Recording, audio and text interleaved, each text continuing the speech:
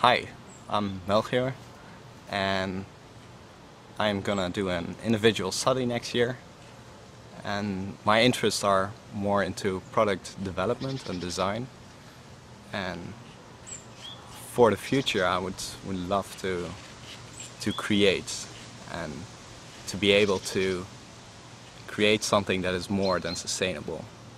And yes we need to involve money and value into into this process. Um, how I want to involve the money is um, in a I again in a more than sustainable way. I would love to um, go into conversations also especially um, with people that have the ability to to co-create and to help me with that.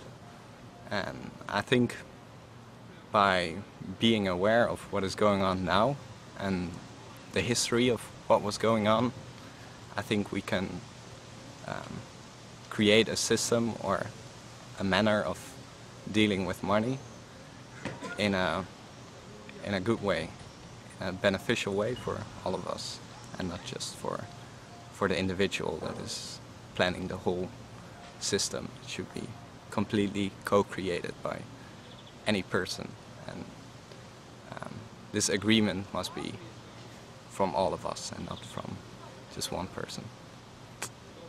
Thanks. Where are you from? Uh, yeah, I'm from Holland, the Netherlands.